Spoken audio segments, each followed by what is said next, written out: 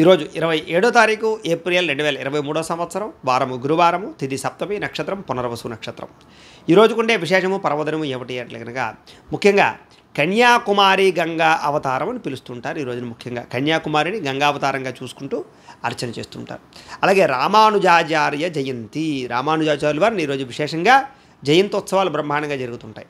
అలాగే చాలామంది ఏంటంటే ఆలవారుల యొక్క దర్శనం చేస్తూ ఉంటారు ఆలవారులను పూజ చేస్తుంటారు అలాగే సప్తమి చాలా శ్రేష్టమైనటువంటి పర్వదనం కాబట్టి వైశాఖ మాసంలో కుంకుమను దానం చేయడం చాలా విశేషం కాబట్టి ఈరోజు సప్తమి కాబట్టి కుంకుమని చాలామంది దానం చేస్తారు. కుంకుమని దానం చేయడం వల్ల పూర్ణ ఆయుష్ కలుగుతుంది అని. అయితే ఇలాంటి కుంకుమను ఎక్కడ దానం చేయాలంటే అమ్మవారి గుళ్ళో కుంకుమ పూజ చేసేటటువంటి ప్రదేశాల్లో ఈ యొక్క కుంకాన్ని దానం చేయడం మంచిది. ఎందుకంటే ప్రతిరోజు మీరు ఇచ్చిన కుంకుమతో అమ్మవారికి పూజ చేస్తారు కాబట్టి ఆ ఫలితం మీకు వస్తుంది కాబట్టి.